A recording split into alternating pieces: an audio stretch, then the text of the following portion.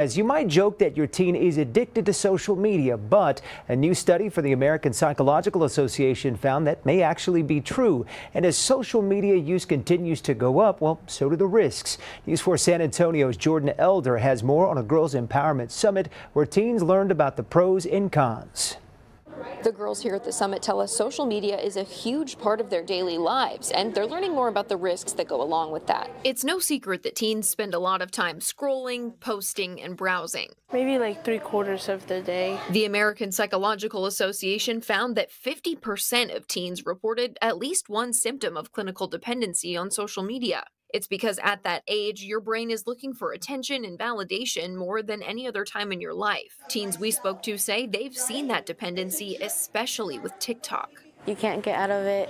Um, you don't go out. That's what we need to hear about today. That's one reason why city leaders wanted to include a social media session at their Girls Empowerment Summit.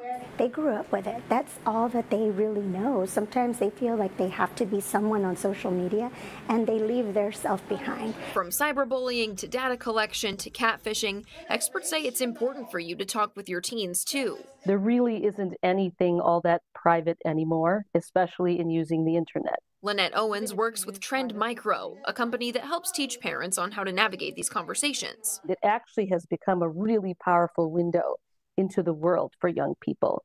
And we as parents are responsible and should take seriously our responsibility to help our children distinguish what on the on the internet is good for them and what is not. Owen says you can do that by limiting your own screen time and posting responsibly.